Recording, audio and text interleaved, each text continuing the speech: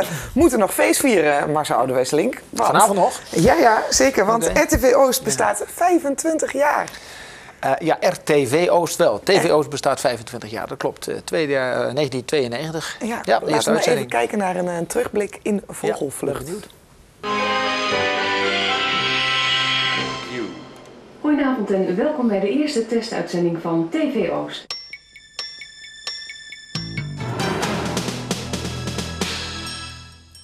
Het nieuws voor Overijssel. Goedenavond. Bij de ontploffing in een vuurwerkopslagplaats in Enschede zijn zeker 20 doden gevallen. Tijdens een autoshow-evenement in het centrum reed vanmiddag een monstertruck het publiek in.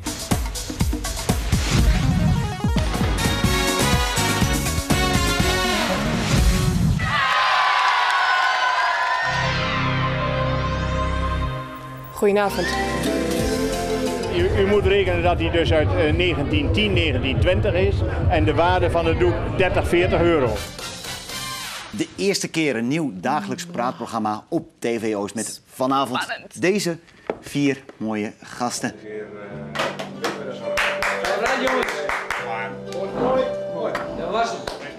Applaus? Ja, hoogtepunten, maar ook hele belangrijke nieuwsmomenten. Ja. waar kijk je nou zelf eigenlijk naar terug als je terugkijkt naar die periode? Nou ja, de moeizame beginperiode natuurlijk. Er is heel veel eh, eh, pijn, zweet en tranen zeg maar, gekost. Bloed, zweet en tranen gekost. Met name voor eh, Henny Evers om zeg maar, de zaak vlot te krijgen. Met behulp van de provincie Overijssel en de Edel is dat uiteindelijk gelukt. En ook wat hulp van Kamerleden. Ehm, eh, bijna failliet geweest. Moeizaam aan- aanloopperiode. Maar toen was ik er nog niet echt bij betrokken. Toen zat ik bij radio en eh, ik vond het helemaal niks aan televisie. Later natuurlijk toch bijgekomen. En wat ik mij herinner is natuurlijk eh, nou, de hele eh, verslaggeving rond de vuurwerkramp. Ja, dat heeft, eh, eh, hoe, hoe, hoe vervelend dat misschien ook mogen klinken, heeft ons wel op de kaart gezet als zender. En onder de aandacht gebracht van een heel breed publiek. Ja.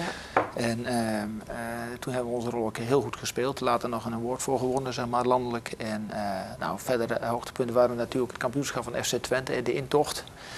Eh, de verslaggeving rond een monstertruc, drama. Eh geef wel aan, eh, op die momenten dat je eh, moest zijn, waren we er ook. Ja. En dat- dat blijft toch bij als succes. Dus als toch wel reden, ook wel ondanks de ja, vorm van groot feest, om het te vieren? Nou ja, we hebben gedacht van 25 jaar, dat moet je, moet je vieren. Het Moet is, eigenlijk, staan. het is eigenlijk het jubileum van 25 jaar regionale televisie in Nederland, aangezien wij de eerste waren. Ja. Daarna zijn alle andere provincies gevolgd. En dan kun je je afvragen, hoe doe je dat? Gaan we met z'n allen nog eens even weer terugkijken van wat er allemaal gebeurd is. We zeiden, nee, laten we dat nou niet doen. Laten we vooruitkijken.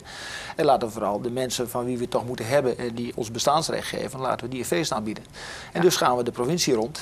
eh, vijf plekken verspreid over de provincie. En we bieden daar een feest aan. Ook wel een beetje in de traditie, zoals we net zagen, de Tour de Overijssel. In Ja. die tijd trokken we ook rond. Ook weer van die danseressen op het podium. Eh, dat, dat, dat weet ik niet, kan ik niet beloven. Ik ben niet, eh, niet bij de inhoudelijke eh, zaken betrokken geweest, maar het idee eh, eh, sprak mij wel aan. We gaan eh, eh, zondag starten in Haaksbergen. En dat begint 's ochtends met een soort van vroegshoppen. Vroegshop is een mooi begrip. Hè. Dat is in ieder geval in... eh, eh, Ja, want het Ik- begrip ik- hier heel bekend, ik maar ben- ik eh, ben- ik misschien niet overal. Kennen jullie het, Frushopper? Vroegshop. Ja, bier drinken toch? Ja, nou Nou, kijk. nee, nee, nee. nee. Vroegshoppen, dat is eigenlijk als je vroeger uit de kerk kwam, de hoogmis. Dan gingen de mannen, de boeren, eh, die gingen naar de kroeg. Ja. En die gingen daar eens even de, de zaken doornemen, de nieuwtjes, de lokale nieuwtjes. En de vrouwen die gingen dan even wat boodschappen doen bij de, de, de plaatselijke middenstanders. En dan gingen ze weer naar huis. Dat, dat is eigenlijk het vroegshoppen. Is in Duitsland, Oostenrijk heel populair. Die hebben er ook televisieprogramma's van gemaakt. Ja. En muziek aan gekoppeld. Gewoon gemoedelijkheid, En dat is ook wat er dus gaat gebeuren. En, en dat gaan we dus ja. ochtends doen. eh, ook live op televisie te zien van, eh van 11 tot 12. Zeker weten. En dan 's middags koppelen we nog een, een, een feestje aan zeg maar, op, een, op een podium met artiesten. Dat is voor een wat breder publiek, zou ik maar zeggen. En dat, eh, ook dat zenden we uit. Ja. En over 25 jaar is er dan nog televisie? Regionale televisie? Nou, weet je, Misschien moet ik dat eh, aan Pieter Omzicht vragen. Het ligt natuurlijk ook altijd wel samen met ja, de politiek. heb, ik heb nog wel een vraag aan, aan, de heer Omzicht. Eh, hij zit ook aan de, in, de, in de informatieclub, zeg maar. eh. ik zou graag iets, iets willen meegeven. Eh, waar ik mij nou over verbaas is, en ik heb ik al jarenlang eigenlijk een beetje tegen gereageerd, maar zonder eh, al te veel succes. En met mij, eh, mijn collega's. Ehm, eh, de, regering eh, geeft ongeveer zo'n 140, 150 miljoen euro uit aan eh, publieke regionale omroepen, waar we natuurlijk hartstikke blij mee zijn. Vooral doorgaan ook, zou ik willen zeggen. En wat, nou zo, wat ik nou zo vreemd vind, is dat daarnaast, wij maken mooie programma's, hebben we net ook gezien. En, maar de, kabel, de kabelaars, de kabelaanbieders, hebben vrij spel om te bepalen waar ze die zenders aanbieden.